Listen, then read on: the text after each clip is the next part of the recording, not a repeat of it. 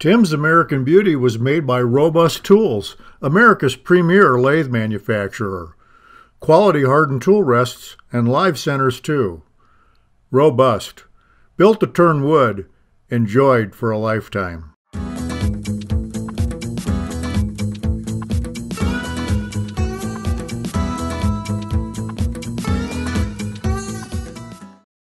Thompson Lathe Tools, made by a woodturner for woodturners.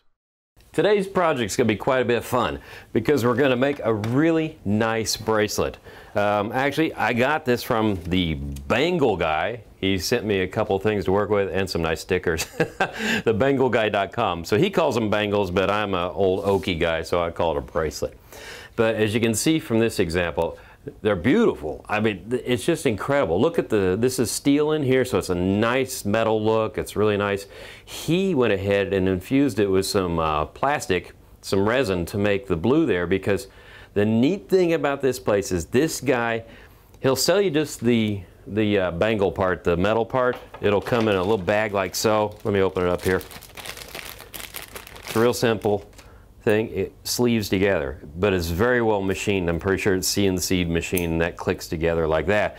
You're going to turn the piece of wood that goes in there. And you can get your own wood, use your own wood, that's fine. But as he said, it needs to be oven dried, not kiln dried, not room dried, not dry dried, but oven dried because if the wood will move when you finish it, if you have any moisture in your wood, it's going to crack because you're turning a piece of wood that is so daggum thin. I mean, that might be an eighth of an inch thick right there. So this is almost like a veneer on here. So imagine that. If it starts to dry and shrink, it'll pop really fast, really easily. So what's really cool is like I was showing you, he makes his own blanks that then you can use. And I mean, I've been around dry wood before. This is really, really dry. But he gets some really cool burl. This one is called Afzelia burl and it has voids in it. So he goes ahead and gets a resin and he impregnates it in there and then uses vacuum to seal it and bring it in tight so there are no voids in this and so when you turn the blank it's a beautiful piece of wood. So this is what we'll start turning with today and there is a big glue up process so we're kind of going to do the uh, cooking show thing and I've got the second half going here and it's a different piece of burl and it doesn't have the uh, plastic resin in it but it's still just as cool and works just the same. Now I'm putting on my step jaws on my chuck and you can see that there's steps. I mean, boom, boom, boom like that. And I gotta tell you, honestly, I've never really found much of a use for these because I always figured if I have a jaw the size of one of the steps, I'm gonna use it instead and I make a 10 and it works, right? Well, I'm gonna step on up to the step jaws because they're gonna be perfect for this project right now because I need to hold this ring in the lathe. And the bangle guy, he has a nice series of videos on how to make bangles the way he makes them. And I've been messing with it, and since I have different jaws, different things, I'm going to show you a little bit different way. But the thing he does is he'll expand jaws into this right here. But he's only holding it halfway, and then he starts cutting this diameter because the first step is to get this to fit. And in doing so, he has to then very carefully turn it around again and have it flush and do this so the inside cut is parallel. Well, I kept thinking about that and I thought, is there an easier way to hold this? And I thought, wow, look at the step jaws. So I'll just put this in here like so, and I'm going to gently tighten this. Open, close. There we go. Oop, wrong way. Even reading it, I went the wrong way. And I'm holding it flush because if you look at here, this is a perfectly flat surface. When he made this, this is perfectly flat, so I don't have to worry about this going in crooked because it's going to mount up or butt up right there. So anyway, I'm going to gently clamp it down, not too hard. I don't want to crack it, but there. Now it's a good solid hold. But look down in here. See how far my finger is going in? I'm not hitting any metal till I go way past this edge. So I can come in here and do the diameter in one shot and take it off. So that's what we're going to do next. Now, I'm going to take one of the bangles and I wanted to get the diameter. You could use regular calipers, gauge calipers. Again, this is wood turning for sometimes close enough is good enough, but in this case, close enough, you gotta be really close. So that's the diameter of the ring. That's the part that's gonna slip inside the wood. So I have this here, move that off to the side. I'm gonna turn the lathe on, and I'm gonna bring these points up. One is sharp, one is dull. Very important on that. And I'm only going to touch the sharp one. So I'm going to make a mark. And so I'm almost lined up there. There, now it's lined up over here.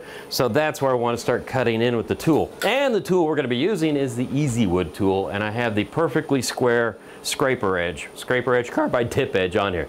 So you want the one that is perfectly square because you need to make very accurate lines when you're doing this. It's not real difficult, you just want to be careful and take your time. So I'm to pick the speed up quite a bit. And Brian, can you see down here? See this little ring I have right here? That's a um, little collet thing you can put on the shaft of your tool rest. And I locked it in so this is perfectly set, so when I present this tool, it's just dead center.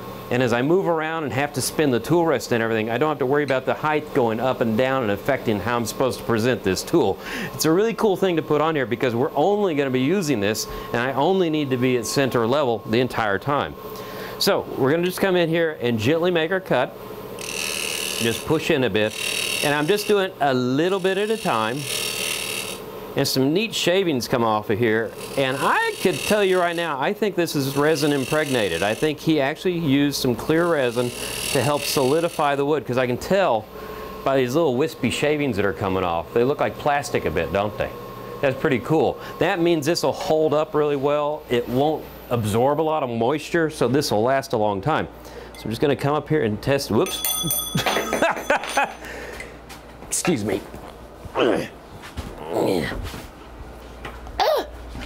Okay, that worked. I guess I could have just gone around, huh? Okay, all right. so, you could be one of those days. All right, oh, sorry, keep bumping your camera. Don't want to make you guys seasick. Okay, I got a little more to go here. My marks are fairly accurate.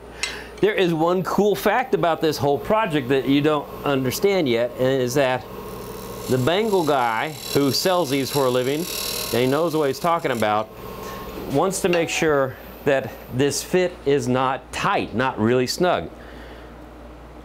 And also, when you put on your right goggles, you cover more of your eyes. Gonna be one of those days. It started early. Let me clean that off so we can see better. I, I gotta quit doing that. So I got a little more to go here. This is like fitting the lid of a box, by the way.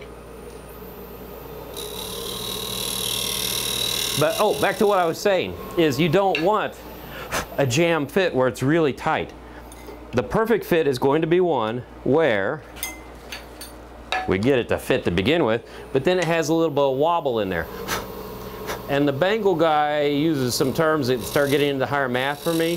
He talks about like four one thousandths to six one thousandths of an inch.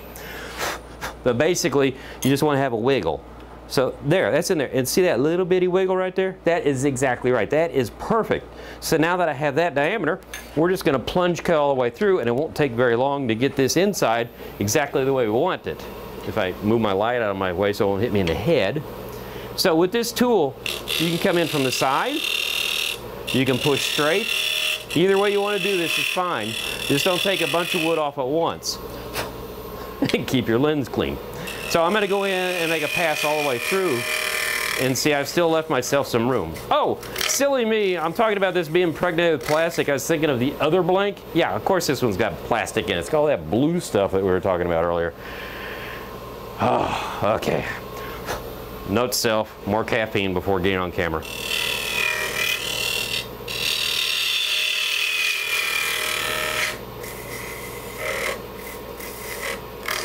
That is neat when that comes out. The ribbons that this stuff makes are really kind of incredible looking. it's almost like a Christmas wrapping bow or something. yeah, here we go. We're gonna get in and make our final cut here. And make sure you're perfectly straight going in.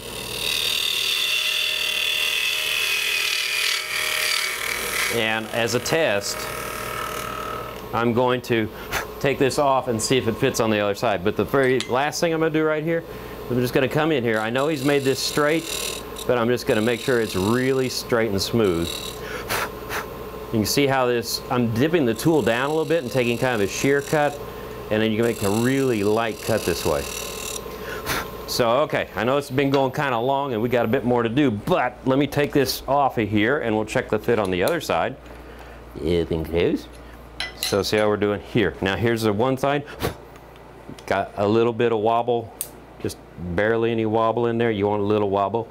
come over on this side, and we have just the same amount of wobble. That's cool. So we're going, on, going to go on to our next step. Okay, now I've got a different set of jaws on here. These are long, thin, tapery jaws. But the whole idea is they're going to expand and inside on the inside and hold this really tight. What I have to do is we're going to cut the width now because you can see how wide the band is. And I want this though to be out away from the edge of the jaws right here because I've got to cut in this side to make this the right width. Because remember I trued up this side so it's ready to go. And I also want to get rid of this band right here of plastic because I'd rather see solid wood and then run into the cool looking plastic. Well what happens is if I don't have this spaced out here I'll hit the jaws as I trim this, right? Well, how do you accurately get this on there? Because you could have it wobbly. Well, the Bangle guy made one of these up. I think I did kind of a ham-handed job at it, but it's just some fiberboard or base or a composite board, so it's straight. And I made this up. This is about a half inch thick to match with my jaws.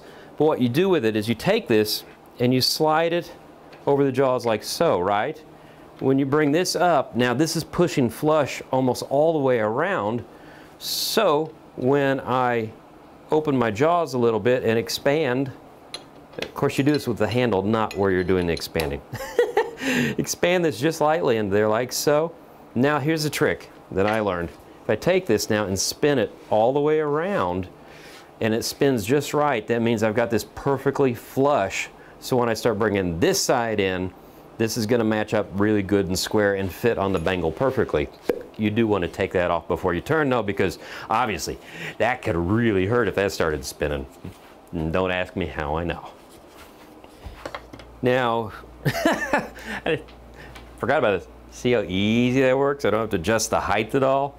That is so cool. I just love that. Anything that saves me a little bit extra work and, and headache, I love because believe me, I cause, oops, wrong handle. Let's do that handle. Um, cause myself plenty of headaches.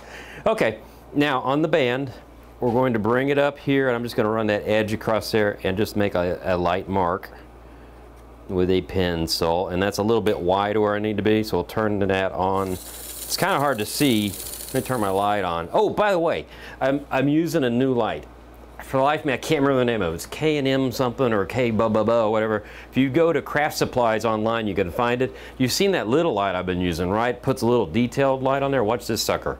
Bam that is a lot of light. So occasionally, I mean, this looks great down here, but occasionally when Brian gets a wide shot of me, I'm probably going to go into the dark because we are literally doubling the amount of light that's on here and on here. So you'll be seeing less of me, which is probably not a bad thing. And I'm going to remember to take these off now and grab this.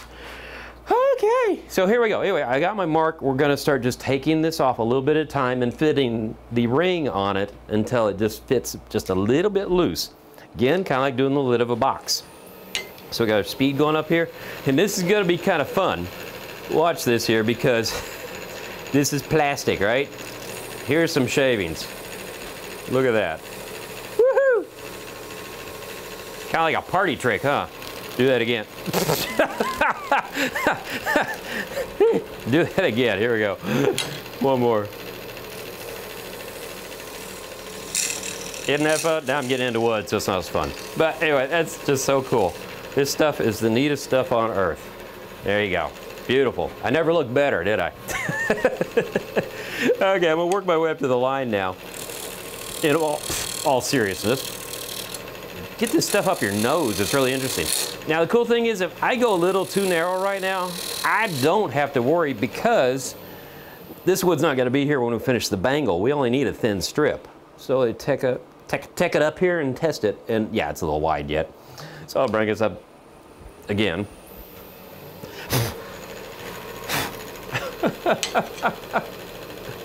I got a cricket somewhere in the lathe today. I don't know where it is. I can hear it. There we go. Try this again. Now, if you're using a regular cutting tool and cutting into this plastic, if you rubbed your bevel too hard, you'd actually start melting the plastic and it makes the cut a little bit harder to do. So I love this. This is great coming in with carbide and just doing a clean slice. There we go. kind of like watching paint dry, isn't it? Oh, okay, it's on there. And that is snug, so I'm going to go ahead and take it down to that, and then I'll work my way in gently. So let's go here.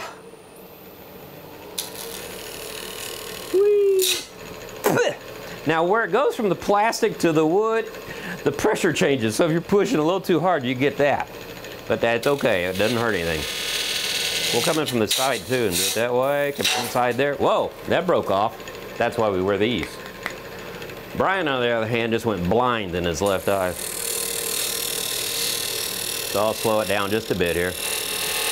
And again, I'm putting the point down so I can get a little finer cut because I don't want to tear the wood out as much. And there you can see that's what a controlled cut looks like when you're not talking and not paying attention. There we go. Gonna come in, I'm coming in as straight as I can. And I'm gonna come in one more little tiny cut. I'm taking off, again, a thousandth of an inch according to what the Bangle guy says.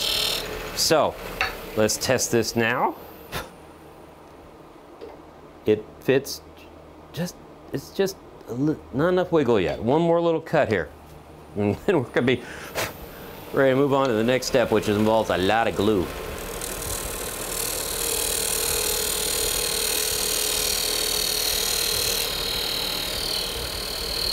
think we're there.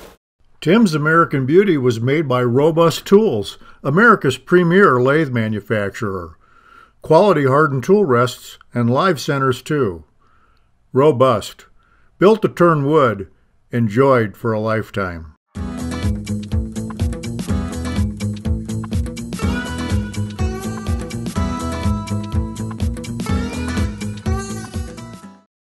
Thompson Lathe Tools, made by a woodturner for woodturners.